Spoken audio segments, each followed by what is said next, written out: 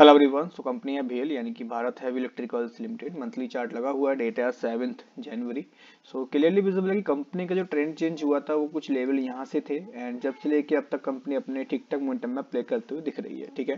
Company ने अपना first resistance point यहाँ पे कहीं पे ब्रेक हुआ था अराउंड एक के लेवल पे। सेकंड रेजिस्टेंस पॉइंट रेडी था अराउंड दो के आसपास के लेवल के लिए। अभी क्या है कि कैंडल्स ने उस पोजीशन को, यानी कि उस रेजिस्टेंस पॉइंट को अचीव तो कर लिया है बट ब्रेक नहीं आया।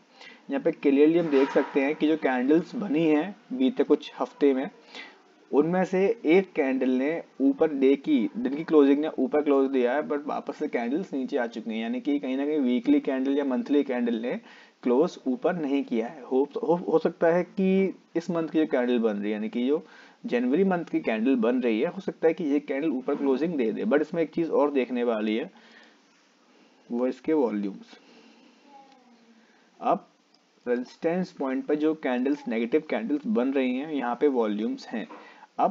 ये डिफाइन कैसे करें कि ये वॉल्यूम्स नेगेटिव हैं या फिर आगे के लिए पॉजिटिव हो सकते हैं। सो so, इस कंपनी में जब प्राइसिंग नीचे से मूव होना चालू हुई थी यानी कि प्राइसिंग यहाँ कहीं से ऊपर उठते हुए दिख रही थी तो इन जगहों पे वॉल्यूम्स बहुत राइज थे यानी कि साफ़ विजिबल है कि थ्री बिलियन तक वॉल्यूम्स बने यानी कि बहुत हैवी बाइंग की गई है। अब जब कैंडल्स यानी कि चार्ट चलते चलते अपना एक टारगेट अचीव कर लेता है तो वहाँ पर कहने की प्रॉफिट बुकिंग होती है।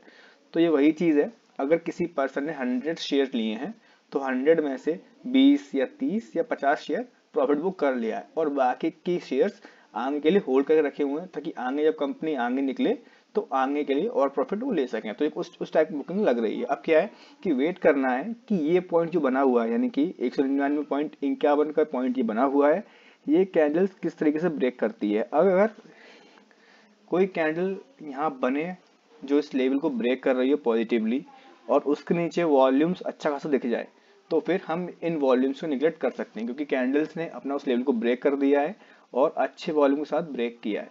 सो so, देखना क्या आगे के लेवल्स के लिए कि ये रेजिस्टेंस पॉइंट दो सौ का रजिस्टेंस पॉइंट बना हुआ है कि ये कैंडल्स जल्द से जल्द और एक अच्छी तरीके से ब्रेक करे ताकि आगे के लेवल्स अनलॉक हो सकें। सो so, देखते हैं कैंडल्स आगे किस टाइप की मूव्स रखती हैं। This for educational purpose only thank you watching my video